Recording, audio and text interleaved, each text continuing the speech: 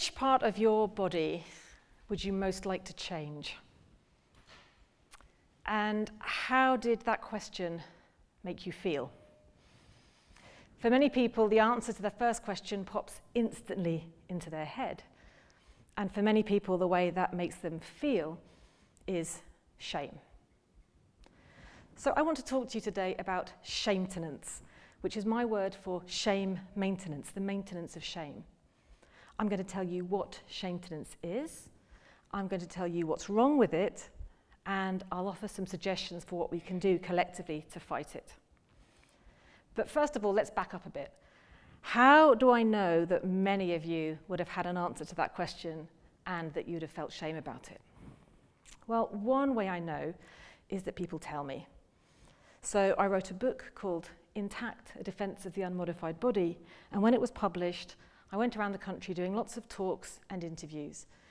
And every time I did this, the person who was interviewing me would raise with me their worries about some part of their body.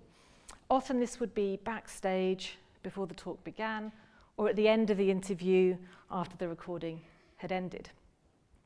One time I did a talk at the Hay Festival and there was a book signing afterwards, and at the next table was Jarvis Cocker, the lead singer of the 90s band Pulp. Now, unsurprisingly, the queue of people waiting to meet him was much, much longer than the queue of people waiting to meet me. But as the staff member looking after me said, his queue is much longer, but your queue is much slower. Everyone wants to talk to you. Um, and it's true. People would do this. They would talk to me about their struggles, perhaps with age or with weight. Uh, people would talk to me about their struggles with visible difference. One man told me that he would never take his top off at the beach. Lots of young people told me about their struggles with social media and dealing with those expectations online. But another way I know about people's feelings about their bodies is through large studies. So one large study of tens of thousands of adults found that 70% of women felt media pressure to have a perfect body. Not just a good body, but a perfect body. And that same study found that two thirds of men were ashamed of their body. We can also look at surveys of young people. So Girl Guiding does a survey of girls' attitudes every year. The most recent survey found that girls were less happy about their appearance than they were in 2009 and that they feel ashamed of their bodies and ashamed of their appearance as a result of the unrealistic expectations placed on them online. So all of this adds up to what psychologists call an epidemic of appearance anxiety. So why is this? Why do so many of us feel ashamed about our bodies? Is it because our bodies have got worse? Are our bodies objectively bad? Uh, no, the way I see it is this if all of us feel bad about our bodies, then our bodies can't be the problem. The problem has to be the overwhelming influence that we live in our society that tells us that our bodies are wrong. Cosmetic companies tell us that if we buy their products, our skin or our hair will be better. Influencers tell us that if we follow their exercise and diet regime, our body shape will conform to the ideal. Cosmetic surgeons invent new procedures and new invasive um, practices that we can undergo. Social media encourages us to compare our appearance with images that have all been filtered or modified in some way. And all of these influences are trying to sell us something. So the latest trend is high-end anti-aging skincare regimes for preteen girls. This is a trend that is started by influencers, paid influencers on TikTok and Instagram, and then spread out through peer pressure and peer trends. Now, 10-year-old girls don't want anti-aging creams because their skin needs it. In fact, dermatologists say that often these kinds of products can be damaging on such young skin. So 10-year-old girls want these things because of the influence they are under. They are the victims of an aggressive economic campaign based on appearance anxiety. The best thing from a commercial point of view is if a company can get us to be worried about body parts that we were never worried about before. So if you think about this in the last few years, we've seen the emergence of practices like buttock enlargements, faux freckles, and more recently, eyelash serums. Uh, who knew that you had to worry about whether your eyelashes were moisturized? Well, you do apparently, but don't worry, there's a product that will sort that for you. So this brings me back to shametenance. Shametenance is all the things that we do, individually and collectively, to keep our bodies shameful. We maintain shame sometimes by actively shaming others or ourselves, but we also maintain shame by keeping our bodies or the practices or the things that we do private, invisible, unsayable.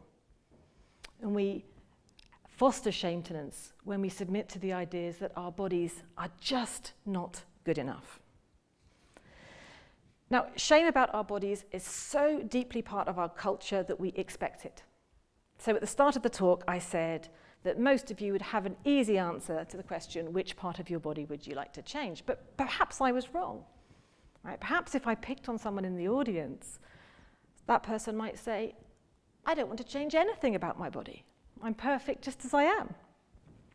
Now, my suspicion is if that person did answer in that way, the rest of us might be unimpressed. We might find that to be a very arrogant answer we might think, you know, who do they think they are? They're no more perfect than the rest of us. We expect people to feel shame. And mostly, they do. So, shametenance is all the things we say and feel and do that keep us feeling ashamed about our bodies. It can include covering up our bodies so no one can see their form.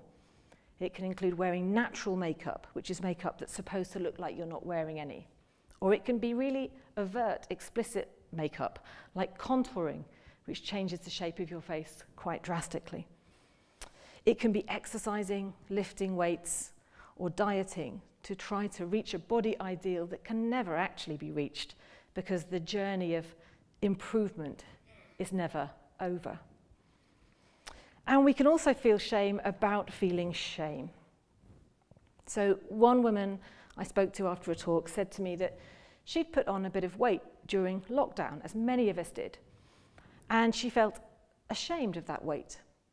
But she also identified as a feminist, and that meant that she felt shame about feeling ashamed. She thought that she ought to be able to resist and reject those norms that women should care about their weight. But these norms are so ubiquitous, so powerful, that it's incredibly difficult to resist. And so for that woman, shame about her weight was layered on top with shame about shame. That's what shametenance is. But what's wrong with it? Well, to some extent, I hope the answer is obvious. Psychologists diagnose what they call the epidemic of appearance anxiety because appearance anxiety and body shame is associated with various kinds of mental distress with depression, low self-esteem. And it can also be a factor in various forms of harmful behaviours such as disordered eating and self-harm.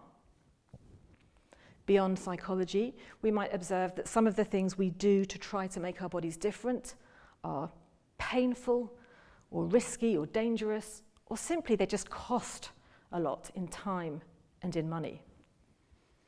But shametenance I suggest, is also a political problem. It's a political problem because it connects to patterns of inequality and hierarchy. To some extent, we all feel appearance anxiety, or the vast majority of us do. But appearance anxiety operates differently depending on our sex and gender, our race, our age, and our disability status. Some groups are particularly vulnerable to appearance anxiety, and high amongst this group are women, girls, and gender diverse people, and particularly during puberty. Now, shame is a special sort of emotion because it's an emotion about our status. If we compare shame with its close relative, embarrassment, we can see the difference. Embarrassment is a feeling, an unpleasant feeling that you get when you've done something wrong or inappropriate at a particular time. As the moment fades and the memory of the moment fades, then the embarrassment can fade away as well. But shame isn't like that. Shame isn't a bad feeling about something you've done. Shame is a feeling about who we are. Shame is the feeling that we are not equal to others, that our status is diminished or degraded. And so, shame is something that can be weaponized against us. When we are encouraged to feel shame about ourselves, and that encouragement is part of a project to sell things to us, that's a real injustice. Okay, so I've told you what shametenance is, and I've told you what's wrong with it. What can we do about it? Well, in general, the antidote, the antidote to shame is pride. Think of gay pride. That was a concerted, collected effort made to rebut the shame imposed by homophobic laws and norms. So you might think the antidote to shametenance about bodies is pride about our bodies. Maybe we should try to feel proud of our bodies. And that's the approach advocated by body positivity activists. Now, there's nothing wrong with body positivity. It's certainly much better than body negativity. But body positivity can't be the only solution to shametenance. For a start, it's incredibly difficult to do.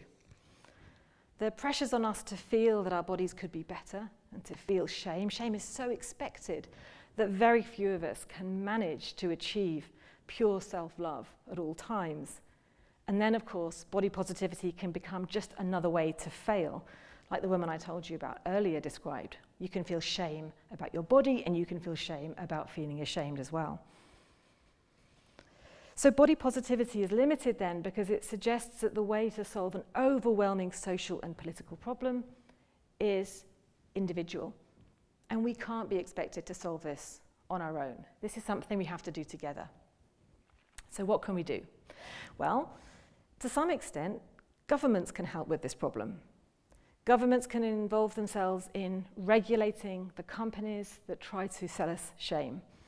Governments can regulate what companies can advertise, how they can advertise, the claims they can make, and even the products that they provide. So, one recent example of this is new legislation that has made using cosmetic Botox and fillers illegal for children under 18. That's just very recently come in last year, that legislation. But the cosmetic procedures industry is still woefully underregulated. Um, now, I have no medical qualifications whatsoever. But if you are over 18, it would be legal for me to inject facial fillers into you for money on this stage right here. So there's still a lot of room for regulation. But we can also go beyond regulation. We need to be aware of the dangers of social media. We need to be aware that all the images we see have been filtered or moderated, that most of the videos we watch are adverts either explicitly adverts for themselves or they're used to make money somewhere. We need to be skeptical of the claims we see on social media. We might also think of changing the way we talk to each other or even to ourselves about our bodies. It's generally a bad idea to comment on somebody's appearance, at least when their body is concerned, because there are lots and lots of examples of people suffering long lasting, quite deep shame from comments about their bodies. And sometimes these comments can be very small. One example I talk about in Intact is the case of a girl who had extensive cosmetic surgery on her face as a teenager because she had been teased as a younger child for having big ears, and that shame never left her. But the comments don't even have to be criticisms.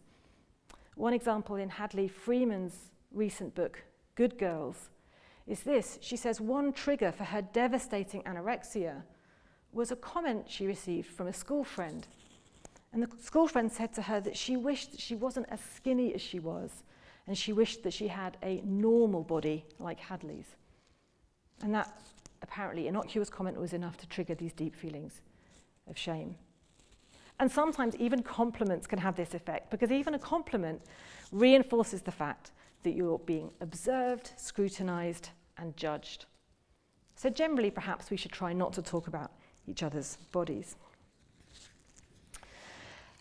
But the most important thing we can do to combat shametenance is to understand it. We need to recognize where we are. It's incredibly um, common, it's normal in the sense of common for you to feel shame about your body in some respects. It would be astonishing if you didn't, if you had managed to escape. But feeling shame about your body in some moments or in some ways doesn't mean that your body itself is wrong. We feel shame about our bodies because we're encouraged to do so. When all of us feel that shame, then our bodies can't be the reason. We are being sold shame so that others can make money from it. Let's try to refuse to buy. Thank you.